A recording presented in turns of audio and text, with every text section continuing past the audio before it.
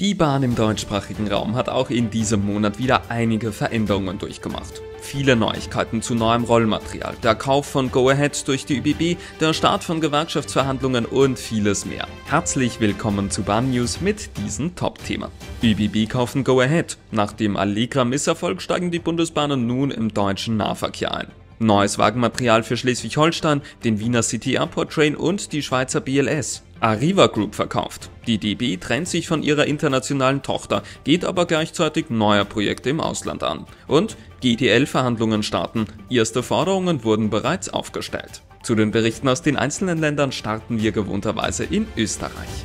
Ab dem nächsten Jahr bekommen junge Erwachsene dort anlässlich ihres 18. Geburtstags einmalig und kostenlos ein österreichweites Klimaticket für ein Jahr. Die große Beliebtheit des Klimatickets zeige, dass die Menschen in Österreich klimafreundlich unterwegs sein wollen und bereit dafür seien, auf öffentliche Verkehrsmittel umzusteigen, wenn sie dann einfach, bequem und günstig sind. Mit dieser Aktion werde das Fahren mit den Öffis für junge Menschen noch attraktiver, heißt es dazu aus dem zuständigen Ministerium. Gerade junge Erwachsene stehen nach dem Schulabschluss oder dem Ende ihrer Ausbildung vor einer entscheidenden Phase. Das Mobilitätsbedürfnis verändert sich, aber gleichzeitig laufen kostenlose Schülerinnen oder Lehrlingsfreifahrten aus. Hier hilft nun künftig der Gutschein für ein Klimaticket in Höhe von 821 Euro aus, welcher innerhalb von drei Jahren nach Erhalt eingelöst werden kann. Die Maßnahme kostet ersten Berechnungen zufolge rund 120 Millionen Euro im Jahr. Auch abseits junger Menschen erlebt das Bahnfahren in Österreichs Ostregion weiterhin ein Wachstum mit stark steigenden Fahrgastzahlen. Um diesem gerecht zu werden, investieren die ÖBB, das Klimaschutzministerium und die Stadt Wien in ein Upgrade der S-Bahn Wien. Dieses Projekt, das nun im Oktober 2023 offiziell gestartet wurde, modernisiert die Stammstrecke der Bundeshauptstadt zwischen Wien-Meidling und Wien-Floridsdorf. Die Maßnahmen umfassen die Verlängerung von Bahnsteigen auf 220 Meter, um längere Züge mit 40 Prozent mehr Sitzplätzen zu ermöglichen. Zusätzlich werden Bau- und Tragwerke sowie die Schieneninfrastruktur erneuert und das digitale Zugsicherungssystem ETCS Level 2 implementiert. Der Umbau erstreckt sich bis Ende 2027 und beinhaltet Streckensperren in den Sommermonaten, um schnellen und sicheren Fortschritt zu ermöglichen. Das Projekt ist Teil eines umfassenden Vorhabens zur Modernisierung und Digitalisierung des 170 Kilometer langen S-Bahn-Netzes in der Ostregion. Ziel ist es, dichtere Takte, kürzere Wartezeiten und mehr Komfort für Fahrgäste anbieten zu können. Auch an anderen Strecken, etwa zwischen Unterretzbach und Payerbach-Reichenau, werden Bahnsteige verlängert. Der erste Spatenstich fand nun im Bereich Wien-Handelskeh statt. Die ersten Bauarbeiten werden nun genau dort und im Bereich Wien-Treisengasse durchgeführt, bevor dann 2025 die Hauptarbeiten beginnen. Die neuen CityJet Desiro ML Nahverkehrszüge werden nun final auch in Tirol eingeführt, markiert durch die erfolgte Übergabe des ersten Zuges bei ÖBB Traintech in Innsbruck. Bis Mai 2024 werden 20 dieser Züge auf verschiedenen Strecken nach Tirol ausgeliefert, zunächst zwischen Innsbruck und Kufstein, später auf Strecken wie Landeck-Innsbruck und Wörgl-Salzburg. Die Erweiterung der Flotte zielt auch hier darauf ab, dem wachsenden Fahrgastaufkommen gerecht zu werden und den Passagieren dabei noch mehr Komfort zu bieten. Die neuen Desiro ML-Garnituren bieten deshalb zahlreiche Annehmlichkeiten wie Steckdosen, Leselampen, verstellbare Sitze, Skihalter sowie Laptop- und Fußstützen, Kinderwagenabstellplätze, Fahrgastinformationssysteme und WLAN. Die vier statt bisher dreiteiligen Züge können bis zu 290 Personen befördern, erreichen eine Geschwindigkeit von bis zu 160 km/h und verfügen über zwei barrierefreie Toiletten. Zusätzlich zu den neuen Zügen selbst stellten die ÖBB auch ihre neue Werkstätte, die ÖBB Traintech Halle in Innsbruck vor. Diese modern ausgestattete Halle ermöglicht die optimale Wartung von Fernverkehrszügen und wird später um eine weitere Halle für die Wartung von Nahverkehrszügen erweitert. Der City Airport Train feiert sein 20-jähriges Jubiläum und kündigt die Investition in drei neue Züge vom Typ KISS von Stadler an, die 2027 geliefert werden sollen. Die fünfteiligen Einheiten bieten Platz für rund 300 Reisende und erreichen eine Höchstgeschwindigkeit von theoretisch 200 Kilometern pro Stunde. Sie wurden aus dem bestehenden Rahmenvertrag für die Railjet und CityJet Doppelstockzüge abgerufen. Wegen des speziellen Zuschnitts auf die Bedürfnisse von Flugreisenden bieten sie breitere Gänge und mehr Ablageflächen für Gepäck sowie eine durchgehende erste Klasse Bestuhlung und einen separaten Sicherheitsbereich für eingechecktes Gepäck, welches bereits im Stadtzentrum aufgegeben werden kann. Aktuell werden umgebaute Regionalzug-Doppelstockwagen mit einer Taurus-Lokomotive im ikonisch grünen Design eingesetzt. Die neuen Züge ersetzen sie dann auf der 16-minütigen Fahrt zwischen Wien Mitte und dem Flughafen Wien. Aktuell nutzen rund 4000 Menschen pro Tag das Angebot, welches zu fast gleichen Teilen dem Flughafen Wien und den ÖBB gehört.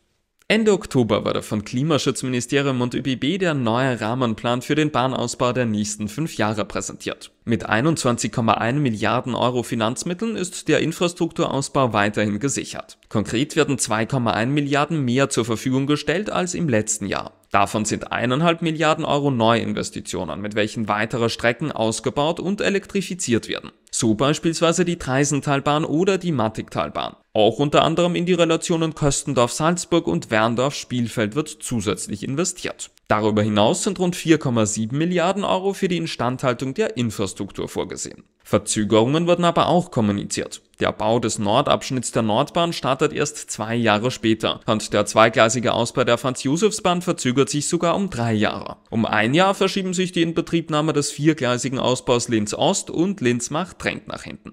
Außerdem gibt es diesen Monat die folgenden Kurzmeldungen. Die Westbahn sichert während geplanter Bauarbeiten im deutschen Eck von Mitte Oktober bis Ende November über 90 Prozent ihrer Zugverbindungen zwischen Salzburg und Tirol. Zwischen Wien und München können 83 Prozent der Fahrten wie geplant stattfinden. Für jene drei Tage Ende November, an welchen die Strecke vollgesperrt ist, werden Reisebusse zwischen Salzburg und Innsbruck bzw. München angeboten.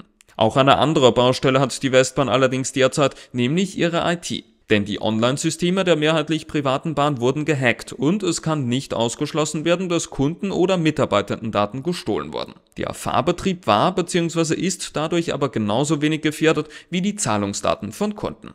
Die ÖBB haben bei Stadler 16 elektrisch betriebene CityJet-Akkutriebzüge nun fest bestellt. Sie sollen ab 2028 entlang der Kamptalbahn in Niederösterreich eingesetzt werden. Diese Bestellung ist Teil einer Rahmenvereinbarung, die bis zu 120 Akkutriebzüge mit einem Gesamtwert von bis zu 1,3 Milliarden Euro ermöglicht. Wir haben bereits berichtet. Die Züge können auf nicht elektrifizierten Streckenabschnitten batteriebetrieben fahren, was den Einsatz von Dieselzügen überflüssig macht. Die Wirtschaftskammer Wien startet ein Intermodal-Coaching-Programm, um Unternehmen beim Einstieg in den intermodalen Verkehr zu unterstützen. ExpertInnen erarbeiten mit den Unternehmen konkrete Konzepte, analysieren Potenziale für kombinierten Verkehr und erstellen Kosten-Nutzen-Vergleiche. Der intermodale Verkehr, der Straßen- und Schienenverkehr kombiniert, bietet zahlreiche Vorteile, wie die Reduzierung von CO2-Emissionen, die Entlastung von Lkw-Verkehren und effizientere Logistik für klein- und mittelständische Unternehmen. Die Industrie erkennt darin eine wichtige einzige Möglichkeit, Klimaschutz und wirtschaftlichen Erfolg zu vereinen. Die Wirtschaftskammer Wien setzt sich außerdem auch auf europäischer Ebene für ein einheitliches, effizienteres und moderneres Bahnsystem ein.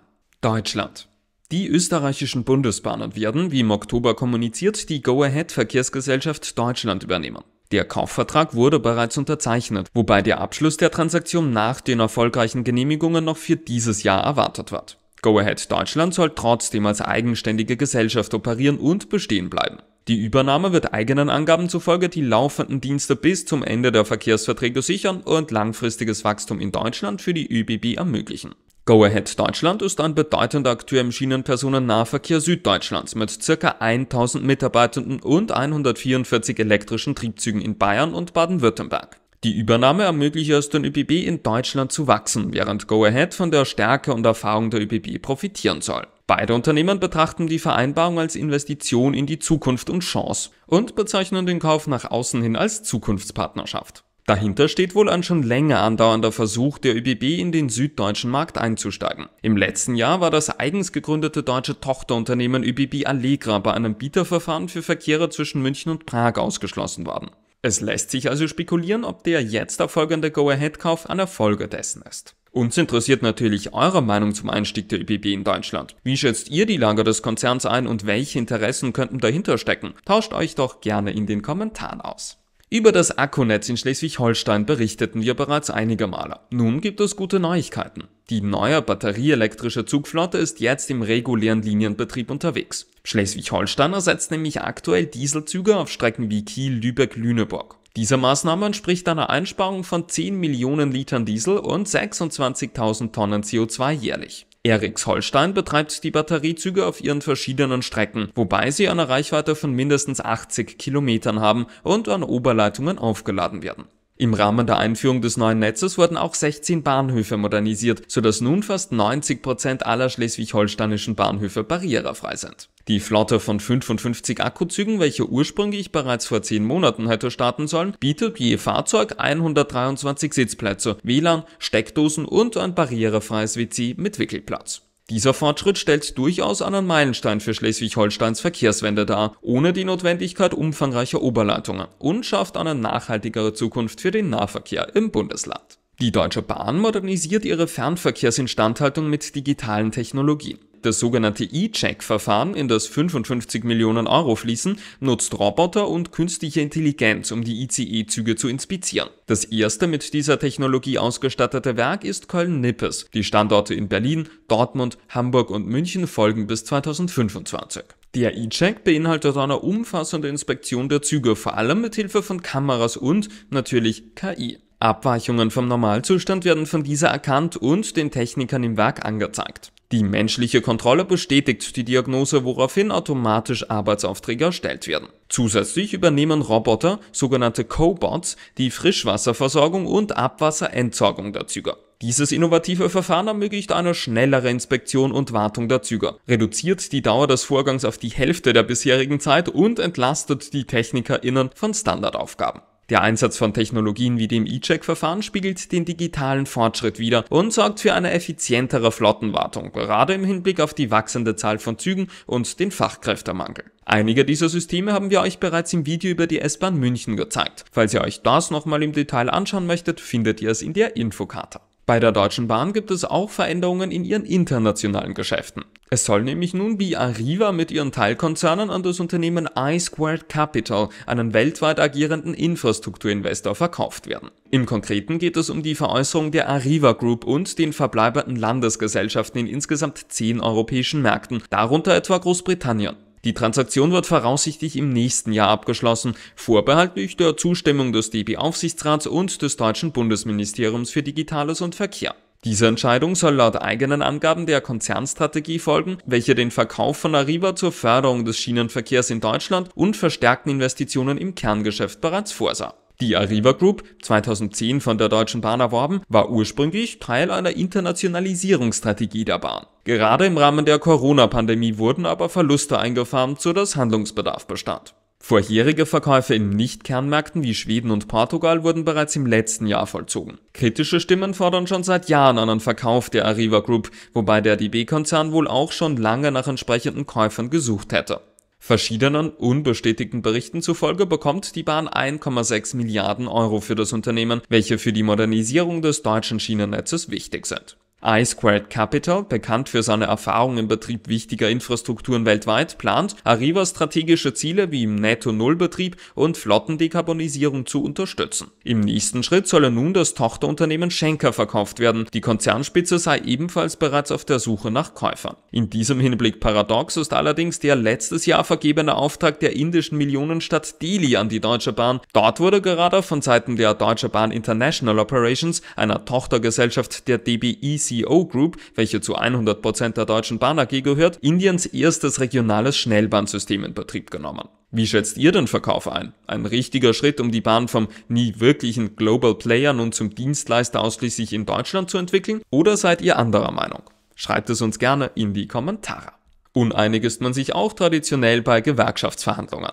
Nachdem die von DB und IVG vor einigen Monaten nach durchaus zähem Ringen zu einem Abschluss gekommen sind, starten nun schon die Gespräche zwischen der Bahn und der zweiten großen Gewerkschaft, der GDL.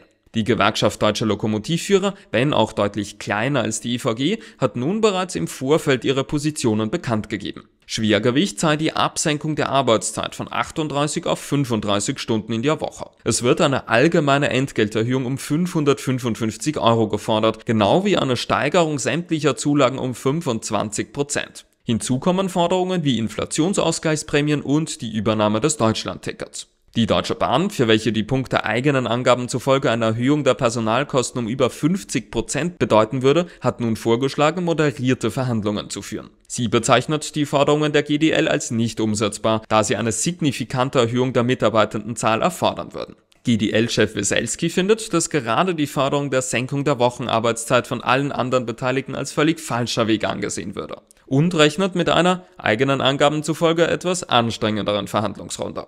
Gerade aus der letzten Tarifverhandlung mit der IVG lässt sich ziehen, wie wichtig eine konstruktive, zeitgebende Lösungsfindung insbesondere im Hinblick auf die Fahrgäste ist. Es bleibt zu hoffen, dass beide Parteien eine Verhandlungsgrundlage finden, ohne dass es zu signifikanten Einschränkungen für Reisende, etwa Streiks, kommt. Die erste Verhandlungsrunde findet am 9. November statt. Neben den größeren Berichten gibt es diesen Monat die folgenden Kurzmeldungen aus Deutschland.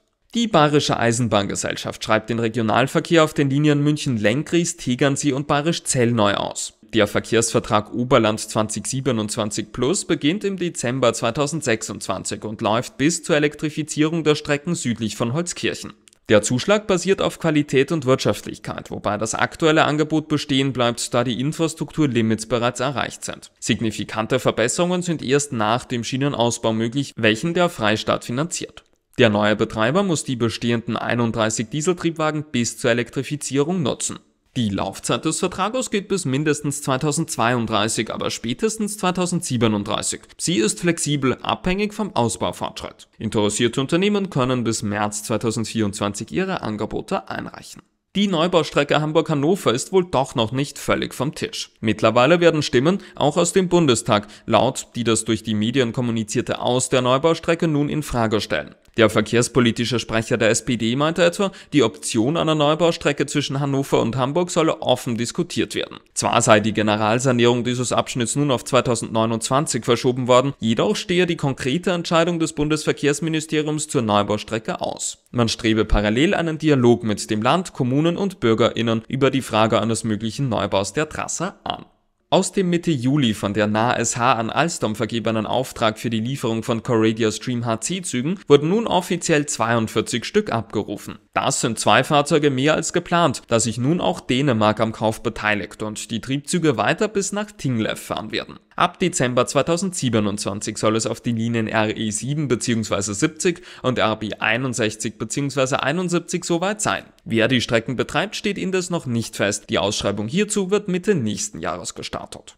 Das Deutschland-Ticket, welches vor sechs Monaten eingeführt wurde, ermöglicht Reisen im gesamten Land zu einem festen Tarif. Mit rund 11 Millionen monatlichen Nutzenden, darunter 8% NeukundInnen, wird es von vielen als Erfolgsmodell gesehen. Doch die Zukunft des Tickets ist ungewiss, da Bund und Länder sich seit Monaten über die Finanzierung im Unklaren befinden. Beide Seiten steuern aktuell jährlich 1,5 Milliarden Euro bei, aber die drohenden Mehrkosten von über einer Milliarde Euro ab 2024 bereiten Sorgen. Der Bund lehnt weitere Finanzzusagen ab und betont, dass die Länder für den Regionalverkehr zuständig seien. Verkehrsunternehmen verlieren Einnahmen, da AbonnentInnen auf das preiswertere Deutschlandticket umsteigen. Trotz Beratungen der Verkehrsminister gibt es bisher keine Einigung über die Zukunft des Tickets. Zu Beginn des Monats wurden immerhin 360.000 Unterschriften beim nordrhein-westfälischen Verkehrsminister Krischer zum Erhalt des Deutschlandtickets eingereicht. Aber das auch nur, weil Bundesverkehrsminister Wissing diese selbst nicht annehmen wollte.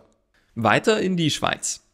Die BLS Cargo hat den Kauf von 10 neuen Siemens Mehrsystemlokomotiven des Typs Vectron für den Einsatz in Deutschland, Österreich, der Schweiz, Italien, den Niederlanden und Belgien angekündigt. Die Loks kommen mit dem neu entwickelten X-Load Ausstattungspaket, das die Traktionsfähigkeit und Effizienz verbessert. Dank X-Load können schwerere Züge in Einzeltraktion befördert werden, ohne zusätzliche Verstärkungs- oder Schiebelokomotiven einzusetzen. BLS Cargo hat diese von Siemens entwickelte Funktion ausgiebig getestet und ist von ihren Vorteilen überzeugt. Das Unternehmen verfolgt eine durchgehende Traktionsstrategie mit Mehrsystemlokomotiven, um länderübergreifende Produkte effizient zu liefern und höchste Qualität für die Kunden sicherzustellen. Die Beschaffung der neuen Lokomotiven unterstützt diese Strategie und deckt den Reinvestitionsbedarf für ältere Lokomotiven sowie den Mehrbedarf für das geplante Wachstum von BLS Cargo.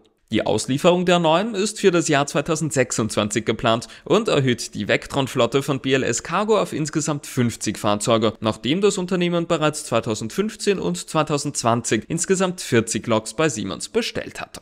Die Swiss Airlines und die schweizerischen Bundesbahnen haben ihr gemeinsames Airrail-Angebot erweitert. Nun haben Swiss-Fluggäste, die über die Bahnhöfe Lausanne, Freiburg oder Bern reisen, die Wahl zwischen einer Verbindung zum Flughafen Zürich oder zum Flughafen Genf. Bisher war nur der Hauptbahnhof Genf an das Airrail-Streckennetz angebunden. Die Fluggäste können nun also bequem von fernen Orten über Genf nach Lausanne, Freiburg oder Bern reisen. Die Bordkarten von Swiss werden jetzt mit dem SBB QR-Code versehen, um die Bordkartenkontrolle zu verbessern. Das Ziel ist es, mehr Transparenz über die Ein- und Aussteigepunkte der Passagiere zu erhalten. Zudem verbessert Swiss den Zugang zum Swiss Travel Pass der SBB über ihre Online-Kanäle, einschließlich der Swiss Website und der Swiss App. Der Swiss Travel Pass ermöglicht ausländischen Reisenden die Erkundung der ganzen Schweiz mit Bahn, Bus und Schiff für verschiedene Zeiträume. Die Erweiterung des Airrail-Angebots umfasst nun zwei Flughafenbahnhöfe und insgesamt elf Destinationen, darunter Genf, Freiburg, Bern, Interlaken, Lausanne, Luzern, Lugano, Bellinzona und Basel in der Schweiz sowie München in Deutschland und Bregenz in Österreich.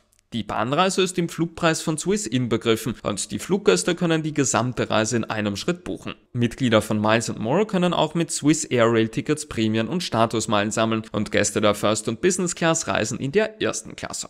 Damit sind wir am Ende der Oktoberausgabe von Bahn News angelangt. Nutzt doch die Kommentarfunktion, um euch mit der Community über die Inhalte auszutauschen. Uns interessiert natürlich noch, welche Beiträge und Neuigkeiten ihr besonders spannend fandet. Wenn ihr auch im November nichts Spannendes verpassen wollt, dann abonniert doch gerne diesen Kanal. Vielen Dank für das Interesse und bis nächste Woche Freitag.